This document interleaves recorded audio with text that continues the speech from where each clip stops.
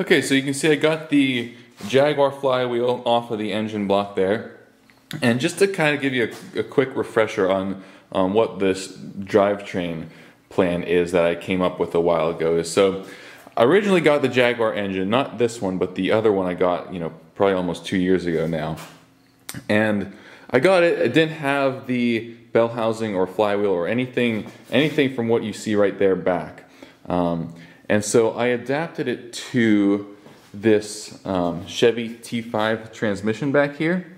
So this is a nice transmission from like the mid 80s, came in a lot of S10 pickups, five speed with overdrive, much nicer than the, the early four speed crash box transmissions.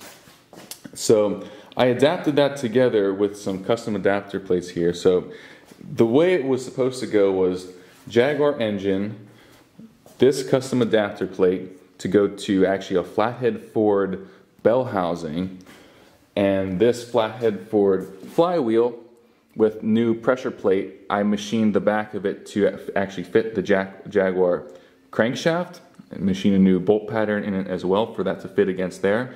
So that then essentially the back of the engine becomes a flathead Ford um, V8 and the purpose of that was because then it's really easy to go to the T5 transmission because that's a very popular conversion right there from the, the flathead to the, the T5 transmission. So I was able to just get to buy like off the shelf all my throwout bearings and adapter sleeves and stuff like that that I would need. Uh, after getting this though, I'm changing gears a little bit. I'm still keeping the same transmission everything, but I'm going to actually use the Jaguar flywheel instead of the Ford flywheel there. And that's really for a couple reasons. Number one, I mean, this flywheel is meant for that engine. Um, it, it fits much more tightly on the crankshaft there. The, the Jaguar flywheel here is definitely a much better quality product here than the, the Ford flathead cast flywheel, which literally has like visible porosity throughout the casting there. And so I'm gonna go with this. And that, that means I pretty much have to just drill a new bolt pattern in for the, the Ford pressure plate there because I'm still gonna be using that. And I'll be able to use then the Jaguar starter too. And even though I did buy this nice brand new Ford starter in anticipation of using the Ford flywheel, but I think this is the better move. So I'm starting out here just by transferring over the bolt hole circle size from the, the Ford flywheel to this Jaguar flywheel here. And you can see I'm just scribing the, the circle around the face of it there. Then once I did that, I'll take my pressure plate, lay it over top and mark the positions around that circle where I need to drill my holes. And I also should have mentioned that part of the process of determining if I was going to use the Jaguar flywheel was measuring the distance between the face of the, where the crankshaft mounts to the flywheel and to the top face of the flywheel itself where um, the clutch plate sits. Because if that distance was way off, then it wouldn't, things wouldn't line up the way I designed it for with the rest of the, the adapters and things. So I measured that distance and it turned out that the, the Jaguar flywheel was about 60 thousandths of an inch thicker than the Ford flywheel and I determined that that little amount wasn't that wasn't that significant. The clutch link itself is adjustable, so any any small variations like that um, could be taken out in adjustment if I had to, and so that wouldn't be a problem using this flywheel.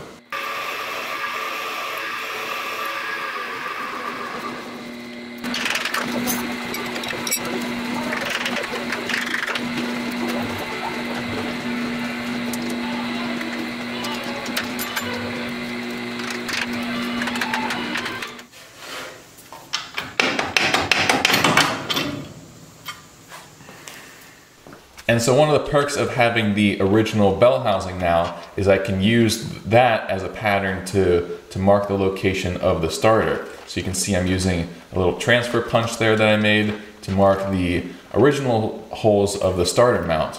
And you can see when I flip this over that those holes don't really line up too well. They're, one of them is very close to the edge and one of them is very close to another hole in that adapter. But that doesn't matter because I'm only using these locations to mark the center of the starter so I know where to, to machine out the main bore for the starter to mount. And then I'll adjust the bolt holes uh, slightly later for them to line up someplace that's more convenient.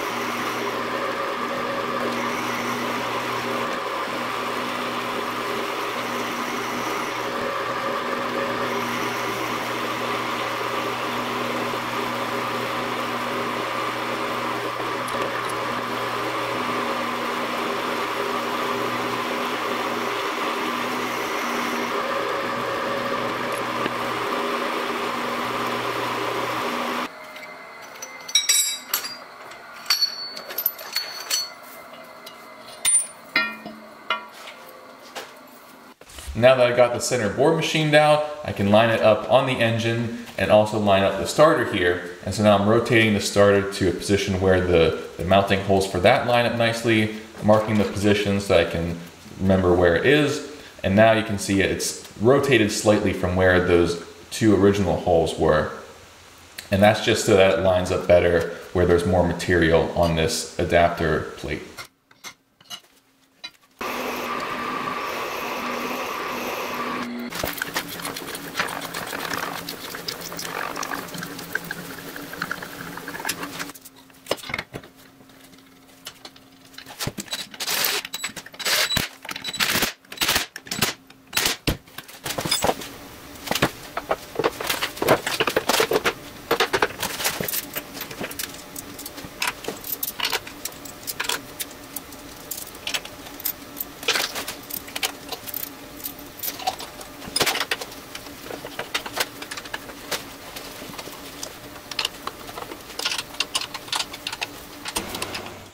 All right, so I got my flywheel here. You can see I took it to a local machine shop to get it resurfaced. That's why it's looking so nice and shiny now, but uh, the bolt pattern for the new pressure plate is really good, lines up nicely.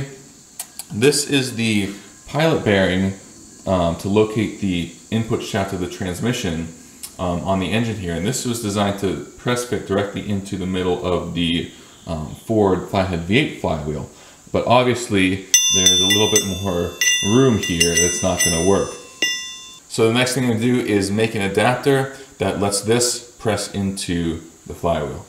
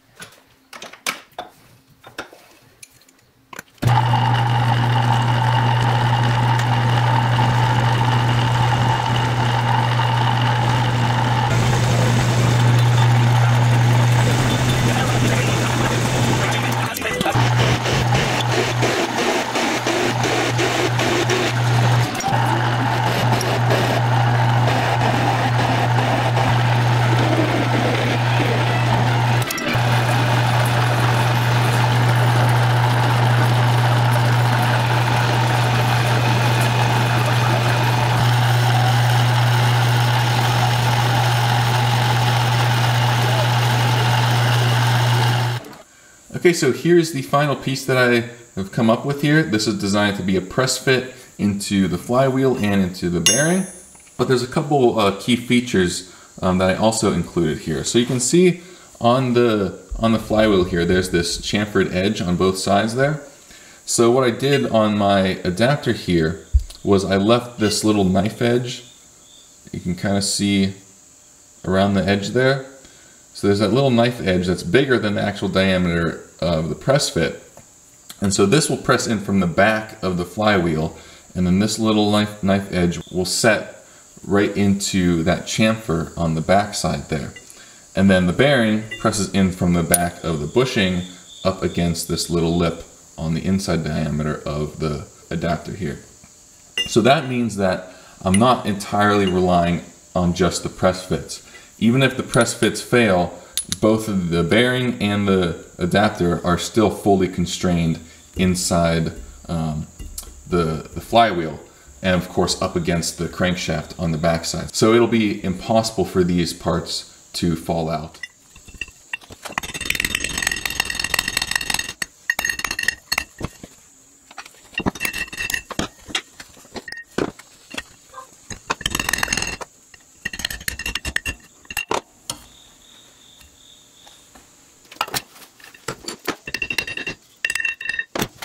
One of the small problems I ran into here when I went to fit the flywheel back on is that it actually interfered with the part of that adapter plate right around the starter there. So I just had to take this back over to, mill, to the mill and machine away some, some of the aluminum there to make clearance for it.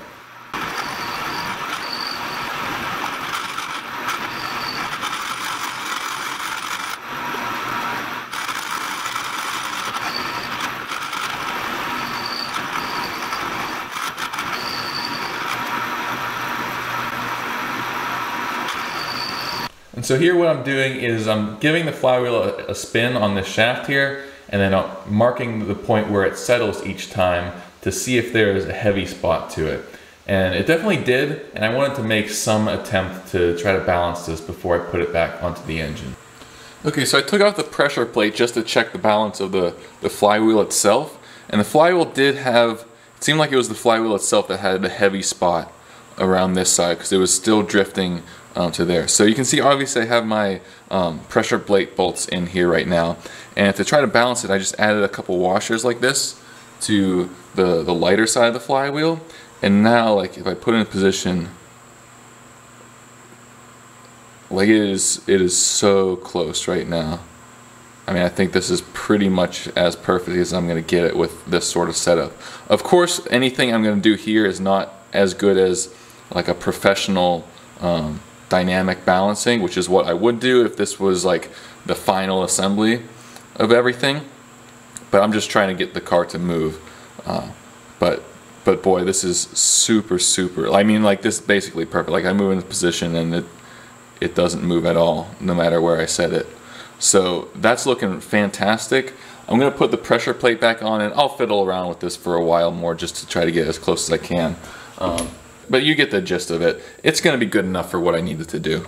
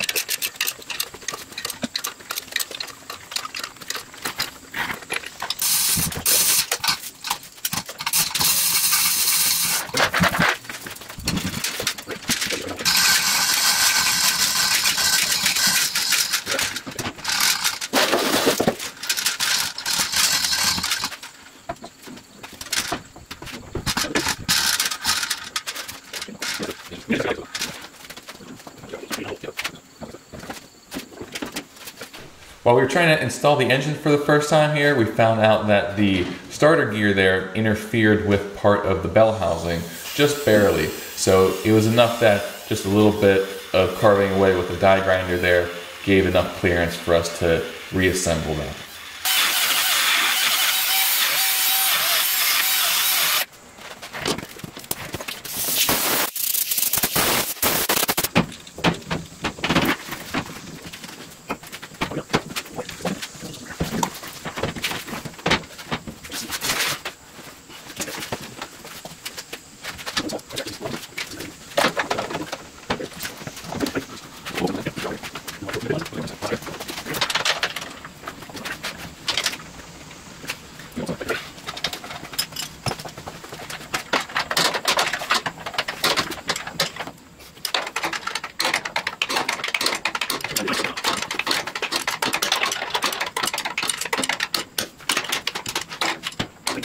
Definitely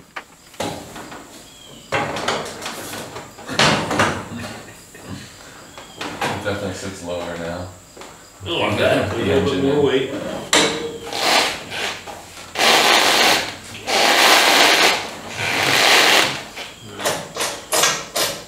Put it in gear. That's first.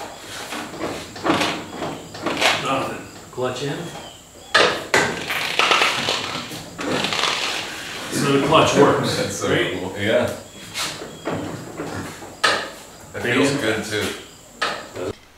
Well, there we go. It's been over four years since I started this project, and now for the first time ever, it has a running engine mounted in it. So things are really going to start to get exciting here now. Uh, in the next video, we have a couple little things to knock off the list before we can try to take it for its first drive, but that'll happen in the next video. So definitely stay tuned and thank you for watching.